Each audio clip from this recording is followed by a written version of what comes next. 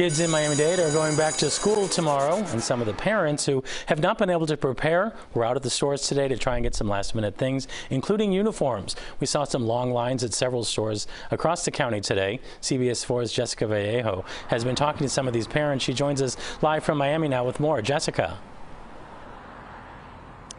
That's right, Ted. Well, we're right across the Ibiley here in Miami, and the line actually wrapped around that building right behind us. And many parents were actually very angry. They said it was way too hot to wait hours outside, but their kids needed those uniforms.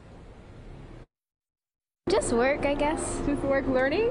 Mm-hmm. It's back to school for Miami-Dade students on Monday, and while these kids will have to mask up, majority say they don't mind. I'm really open about what's gonna to happen, so yeah.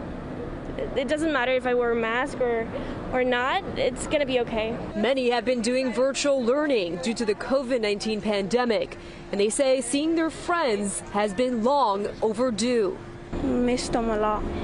So I'm pretty, I'm pretty excited that I'm going back to school. To see my friends. It's been almost two years. Now she gets to hang out with her friends and go to lunch and go play like normal kids. On Sunday, Nicole was one of the many parents who lined up at the Ibiley uniforms in Miami.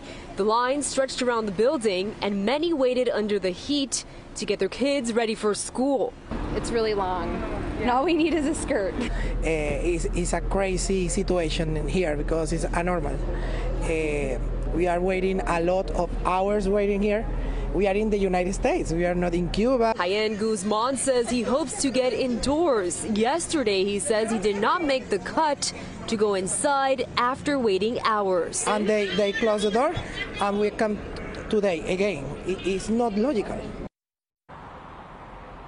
Now, they did shut those gates behind us at 6 p.m. If you were not in line, you were not allowed inside of the store. But again, many of these students are just so excited to go back to school. I'm live in Miami, Jessica Vallejo, CBS 4 News.